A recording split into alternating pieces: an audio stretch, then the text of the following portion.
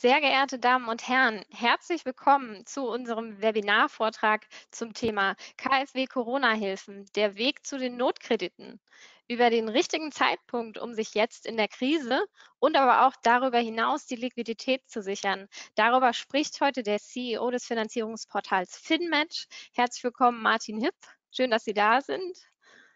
Und ich übergebe auch direkt an Sie das Wort. Wir freuen uns auf Ihren Vortrag. Ja, herzlichen Dank, Frau Kögler, und auch allen anderen herzlich willkommen. Ja, äh, das Thema Corona-Hilfen, der Weg zu Notkrediten. Äh, ich selbst war ja viele Jahre als kaufmännischer Verantwortlicher, davon alleine zehn Jahre als Finanzvorstand in äh, mittelständischen Unter Unternehmen unterwegs und habe natürlich in dieser Zeit auch äh, alle Höhen, aber auch alle Tiefen der Unternehmensfinanzierung äh, mitgemacht, habe auch einige Krisen mitgemacht. Äh, und ich denke, ja, das, was wir in der aktuellen Krise sehen, das ist schon etwas Besonderes. Äh, äh, ich glaube, es ist das erste Mal auch in meiner Erfahrung, dass es tatsächlich auch in unserem privaten, in unserem persönlichen Umfeld so drastische, dramatische Veränderungen gibt. Äh, und es wird sicherlich einiges daran ändern, wie wir miteinander umgehen, aber auch wie wir äh, alle in der Zukunft zusammenarbeiten werden. Äh, was ich aber so aus den Krisen der letzten Jahre immer wieder gelernt habe, sind zwei Dinge. Und äh, das erste ist erstmal so ein bisschen eine gute Nachricht. die meisten Krisen oder alle Krisen sind in der Regel nicht so schlimm, wie wir das befürchten. das heißt, am Ende gehen die Krisen natürlich vorbei und die Dramatik ist oftmals nicht so sehr, wie man es im Vorfeld befürchtet. Allerdings, und das ist eben dann die nächste, die eher negative Thematik, dass Krisen in aller Regel nach meiner Erfahrung viel länger dauern, als wir das alle erhoffen. Und wir sehen jetzt auch schon ja die ersten Auswirkungen, wenn wir sehen, Daimler äh, vor kurzem Quartalsbericht äh, macht keine Prognose für die weitere Geschäftsentwicklung. Das heißt, es ist äh, natürlich äh, eine sehr, sehr große Unsicherheit da. Wie wird die Thematik weitergehen? Wie werden auch äh, sich in Zukunft, in der Nähe Zukunft eben äh, Umsätze entwickeln? Wie wird das Geschäft weitergehen?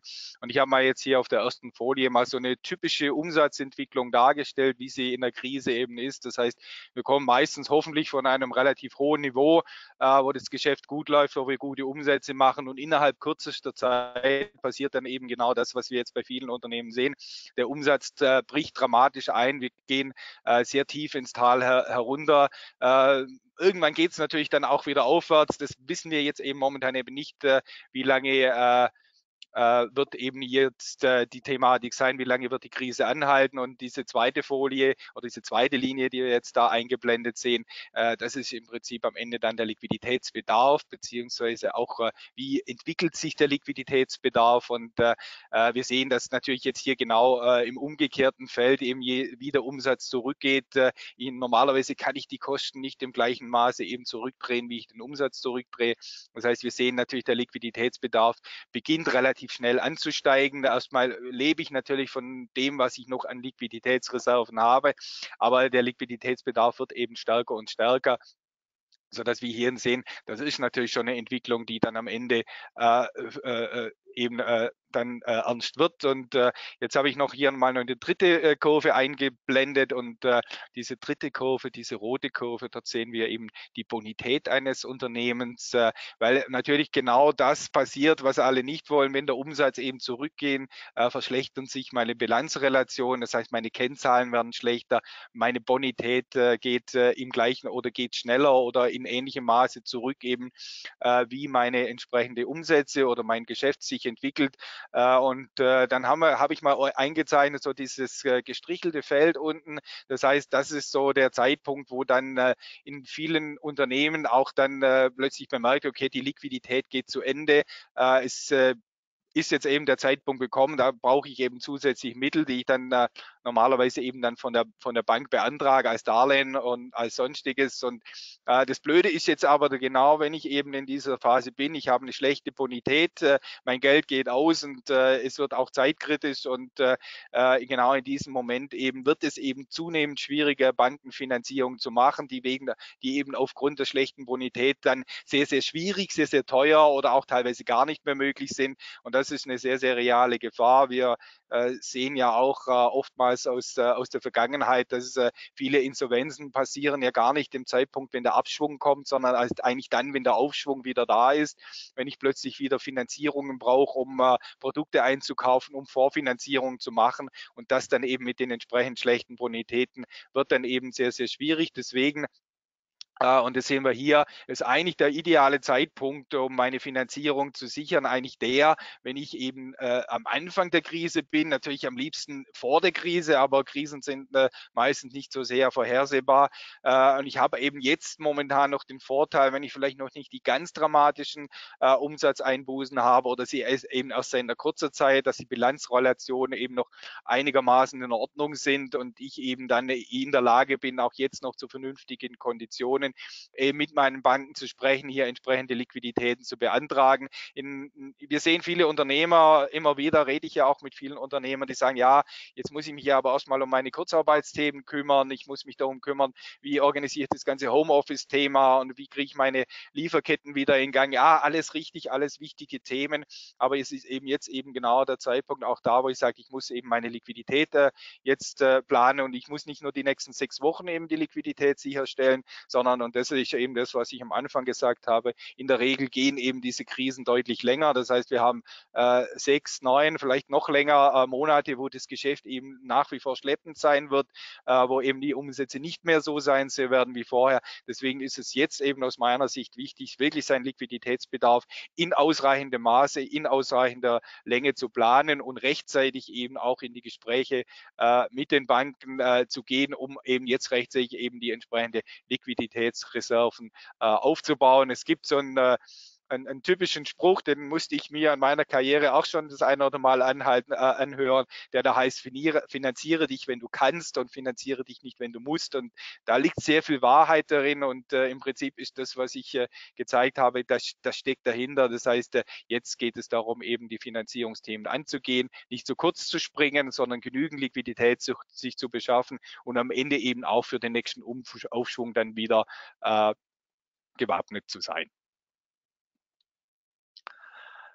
Was äh, für uns eben noch ein, ein Thema ist, ich habe vorher eben äh, darauf äh, hingewiesen, dass äh, aus meiner Sicht auch die Unternehmen sich jetzt wirklich um viele Dinge zu kümmern zu haben, angefangen eben von Kurzarbeit, Homeoffice und äh, die Lieferketten wieder in Gang bringen, aber natürlich auch die Produktion wieder äh, nach oben zu fahren. Es gibt sehr viel zu tun in Unternehmen und viele Unternehmer sind natürlich auch lang unter mit ihren Arbeit und deswegen aus unserer Sicht eben auch ganz klar die Thematik, stehen wir natürlich auch da und unterstützen die Unternehmen auch äh, im, in, in, in der Beantragung der entsprechenden Finanzierungsmittel und in der Umsetzung auch äh, der Darlehen. Und äh, wir haben natürlich eine eigene Vorgehensweise, die wir entwickelt haben.